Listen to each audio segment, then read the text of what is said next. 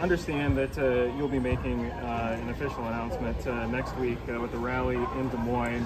Um, I guess what can we expect um, from that, and um, how are you planning to pitch yourself to caucus goers in Iowa?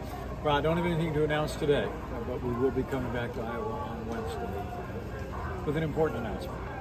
Karen and I have spent the last two years traveling the country, uh, reflecting and frankly praying about uh, the challenges we're facing. Look, I think the country's in a lot of trouble. I think uh, the American people see that President Biden and the Democrats in Washington have weakened America at home and abroad.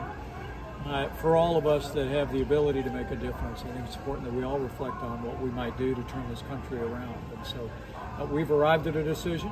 And we thought there'd be no better place to uh, uh announce our intentions than uh, here in the Hawkeye State. And we're very much looking forward to Wednesday. And um, I guess how do you plan on, I guess, uh, maybe differentiating yourself from some of the other candidates uh, in the field? I guess notably um, from uh, uh former President Trump. Well, I think that'll be up to voters in Iowa if, if we join the field. I think yeah.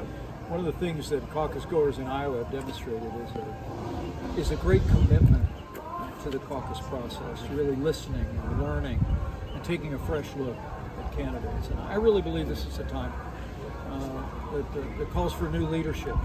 It brings us back to the principles that our administration is advancing, uh, but also that restores a, a, level of civility in public life that uh, we've always tried uh, to personify in our lives and in our careers. And uh, I really do believe that different times call for different leaders, and I'm, I'm very confident that people of Ohio will, will sort that out. Should we be in that field, confident we'll be able to make our case.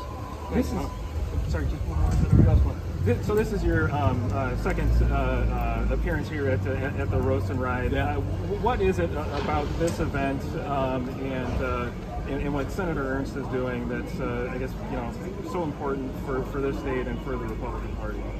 Well, I love riding Harleys, but I love supporting veterans more. Freedom Foundation that today's Roast and Ride is supporting is comes alongside homeless veterans, veterans struggling with PTSD, and at a time when we're losing some 18 veterans a day to suicide. Uh, I, I, think this kind of a this kind of an effort is incredibly important, and I'm just I was grateful to get out on the bike. I was grateful to go for the ride, but I'm, I'm, I'm especially grateful to Senator Joni Ernst.